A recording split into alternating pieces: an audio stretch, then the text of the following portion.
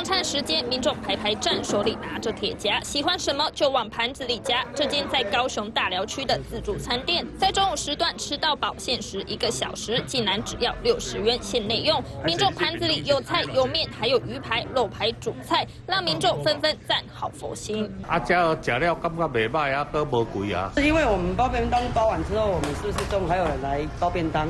对。包完之后，我觉得那些剩菜就是你要丢掉，不如给人吃。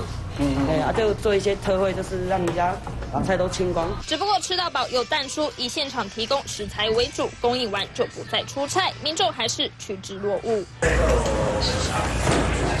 除了提供内用吃到饱六十元，店家也提供外带便当，不过一个七十五元。跟其他间同样七十五元的便当比较，三样菜一块肉其实没有差很多。另外，在高雄福德二路上有店家推出六十九元及九十九元任你加，选一道主菜可以加六七样菜，只要便当盒盖得起来，都算你六十九元。加上班族啦，包括罗刚大家食饭阿边我拢真大，因为万物齐涨嘛。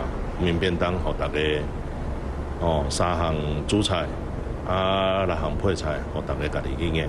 物价上涨，店家纷纷推出吃到饱便当，价格不同，但是吃得饱又省荷包，难怪生意强强滚。三立新闻黄大卫、陈元高雄报道。